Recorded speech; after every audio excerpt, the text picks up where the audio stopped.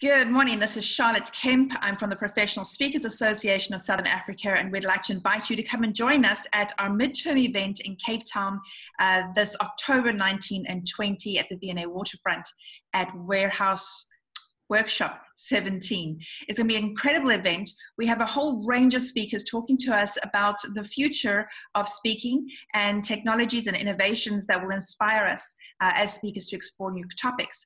Our first uh, speaker that, that we're addressing today is Lois Strachan. Lois is a, a friend and a colleague of mine. We're in a mastermind together. Lois is a very multi talented person. She is a speaker, a blogger, a writer, a brand new podcaster, sometimes a rock musician, and she's a disability advocate.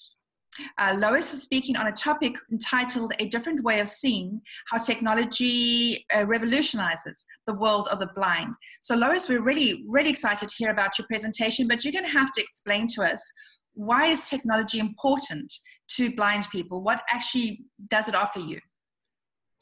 I think the important thing for people to understand is that the greatest challenge we have as blind and visually impaired people is access to information. Blindness doesn't impair our abilities. We can do everything that a sighted person can do, except sometimes we're unable to access information. And what we're finding nowadays that technology is giving us more and more ways of accessing information anything from reading what's on a computer screen to using a, a, pro, a platform like this, like Zoom, to, well, even being able to navigate our way around the world around us. And technology is really leveling the playing field between the sighted and the visually impaired. And it's making such an interesting era for us to see where we are now, where we were 20 years ago, and to speculate on the amazing future that technology is going to show for us. Mm. Uh, it's very exciting to see the kinds of work that you're able to do, uh, you personally, uh, with, with your technology. But now, Lois, what is the reason that we as speakers should be hearing a message like yours?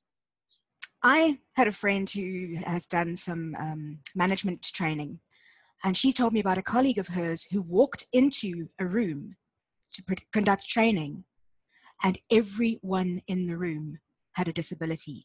And that trainer wasn't prepared to know how to help those attendees to access the information. That so by talking about the technology that's available, I'm hoping that I'll be able to give our, our delegates at the conference an idea of what is possible. And through that, help them to handle the situation effectively if they encounter a situation where they have a visually impaired person in their speaking engagement, in their coaching, in their training. Well, that's a very future fit topic uh, for us to consider. As speakers, we need to uh, find ways to include people in the messages that we're trying to share rather than try and uh, find ways to get out of it.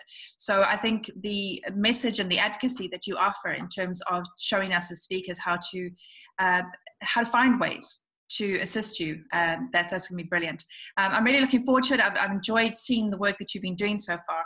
So uh, this is going to be a very interesting topic, Lois. Thank you very much. Uh, for everybody who wants to book, please have a look. You can find uh, the Quicket link uh, anywhere on our social media sites uh, or in the descriptions of this video. And uh, come along and listen to Lois and hear some of the wonderful things that she's up to. We'll see you there.